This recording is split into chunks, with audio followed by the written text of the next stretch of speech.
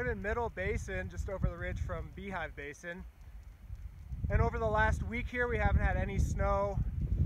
Temperatures have been reaching the low 30s Fahrenheit most days with mostly clear skies. And so we've got this melt freeze crust forming on the surface and we've seen some wet loose avalanches on slopes that face the sun.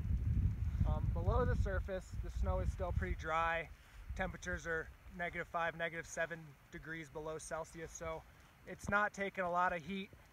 And going forward, we're supposed to get cooler temperatures, clouds, and then some snowfall. So we're not gonna be worried about wet avalanches this next week. Our main concern is still this weak sugary snow down at the ground. This depth hoar has not gotten a whole lot stronger through the season. We have a deep slab avalanche problem there where we're not really seeing regular signs of instability on that.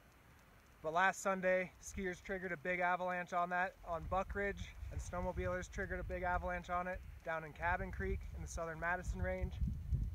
So those are our clear signs that we still have that unstable structure. And even though we might not see obvious signs, we got to keep that in mind and avoid most steep slopes.